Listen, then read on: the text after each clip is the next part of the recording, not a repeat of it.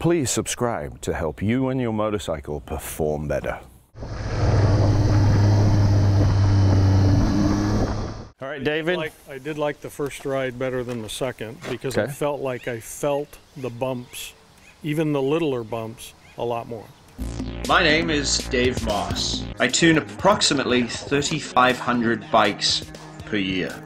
This is Two Clicks Out.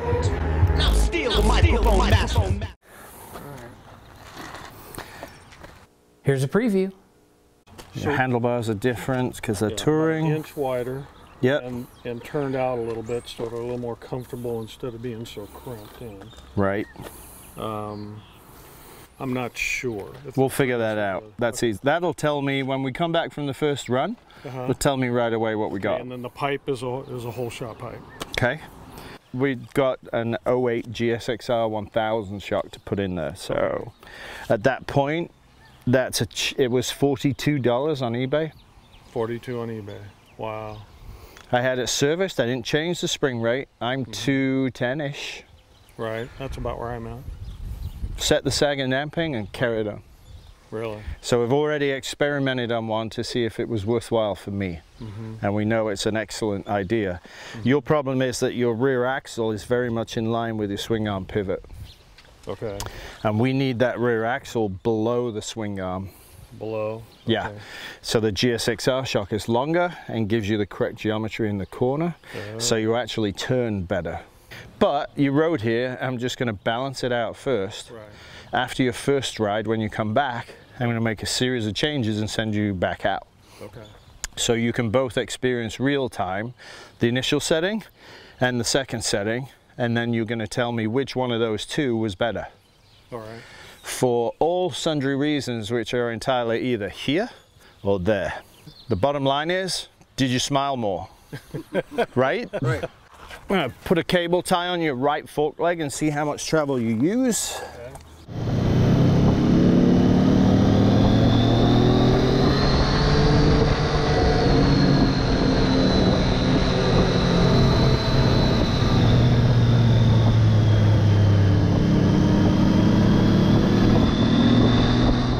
And we can see the travel.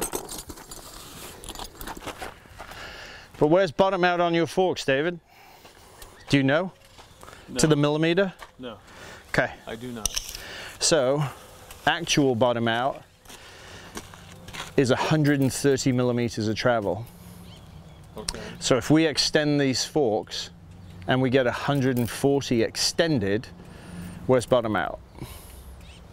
So 140 minus 130 Right. Is 10. 10. Right. So if bottom out is 10 millimeters down from that casting, you're using no travel at all, and you'll get beat to death even more than Mark was. So different bikes have different amounts of travel. Right. You get everything. He does not. Right. And on some Ducatis, 25 millimeters up is actually bottom. They make the forks long to get the rake and trail number for stability. We looked it up yesterday and it was 130 mil. Actual and extended, see how it's 14 centimeters? Right. Right. So your bottom out is 10 millimeters up. So at this point in time, you are using, because it's pushing it to there, 65 mil of 130. So the only way for me to help you get more travel and be more smooth is to take some of that stress out of the spring, elongate the spring, let it relax a little bit, and go give you at least 100, and- 100 mil of travel, at least, preferably 110. Catch the full video at davemosstuning.com. Dave Moss can tune your suspension no matter where you are on the planet via his remote tuning service. Contact Dave on Facebook or by email dave at davemosstuning.com.